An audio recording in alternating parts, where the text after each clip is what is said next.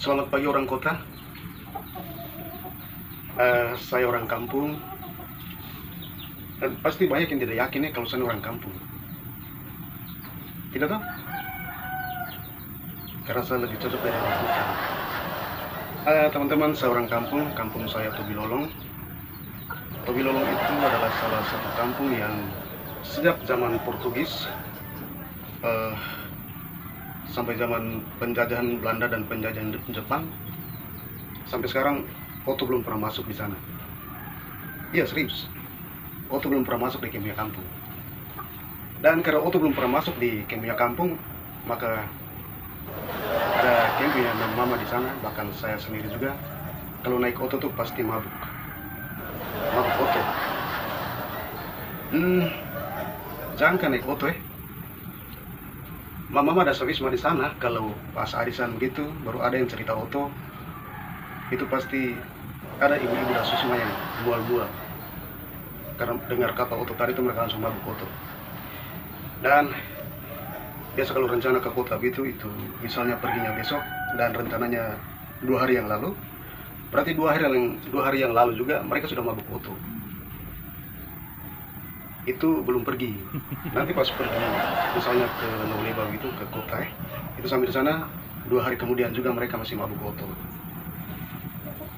teman-teman pernah sekali pas kebetulan saya sudah tinggal di Loleba dan di saya rumah tuh ada TV ya jadi waktu itu kebetulan saya punya mama dari kampung datang ke rumah.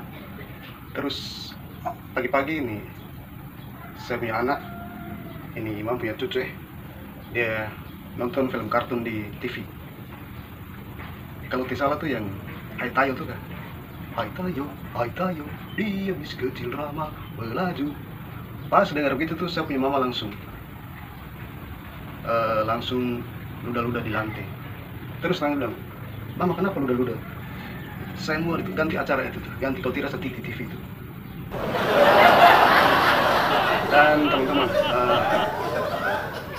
walaupun di kampung atau belum masuk tapi sebagai orang Tobi Lolong khususnya dan orang Tobi uh, orang tua api pada umumnya kami tidak tinggal diam ya.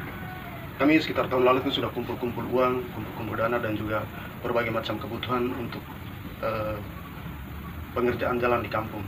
Jadi waktu kami sewa eksavator itu dengan biaya sekitar lebih dari 50 juta ya itu tuh hasil yang kami kumpul.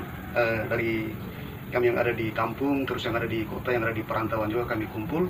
Ada yang seribu ada yang dua ribu tiga ribu empat ribu setengah juta dan satu juta dan bahkan ada yang lebih. Uh, karena berhubung untuk belum masuk bikin punya kampung jadi karena memang dalam kemur kerja dan kondisinya juga masih amat sangat memprihatinkan sehingga saya minta kalau ada yang nonton saya punya video ini nih bisa tidak bantu-bantu kami misalnya satu bulan 50 ribu lah buat kami peningkatan jalan ke kampung. Kami rapat.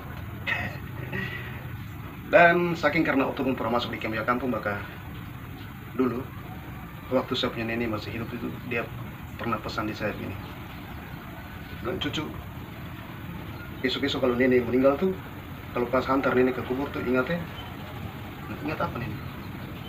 Pokoknya aku ingat. Ingat jangan muat nenek ke kuburan pakai auto ambulans. Kenapa nenek?